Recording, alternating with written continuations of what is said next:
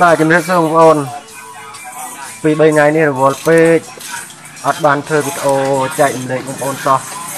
ហើយថ្ងៃហ្នឹងរៀងចំណេញតិចឲ្យកូនជាងសាក់ធ្វើដៃកូនជាងតិចឲ្យមួយអាវខៀវនេះអានឹងកូនជាងធ្វើជាមួយខ្ញុំប្រចាំហើយមានអាវផេះមកម្នាក់ទៀតមកហាត់ការងារគឺថាវាមកជាងកាលវាបានដល់ថ្ងៃសៅរ៍អាទិត្យអញ្ចឹងទៅសាច់ចិត្តវាទេវាចង់មកក៏មកវាមិនចង់ មកក៏សាច់ទៅវាទៅតែម៉ូតូមួយនេះកាវ៉ាបាទកាវ៉ាសាគីកាវ៉ាសាគីបាទអានេះខ្ញុំរើមសិនអីហើយអស់ហើយតែចង់ឲ្យកូនជាងវាថាចង់ដឹងមើលវាវាវាធ្វើបានប៉ុណ្ណាហើយវានៅជាមួយខ្ញុំមកជាងមួយឆ្នាំដែរវា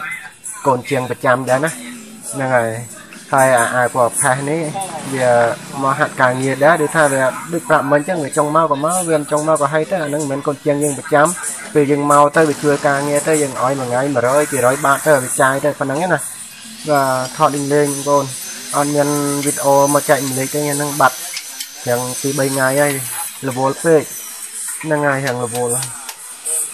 ងប្រញាប់ពេកអត់មានពេល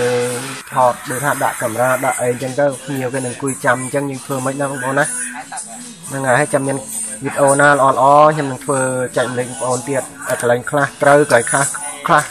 មិនត្រូវអីហ្នឹងយើងចេះតែមើលសិនទៅបាទអរគុណនេះយើងមើលលេងលេងសិនទៅណា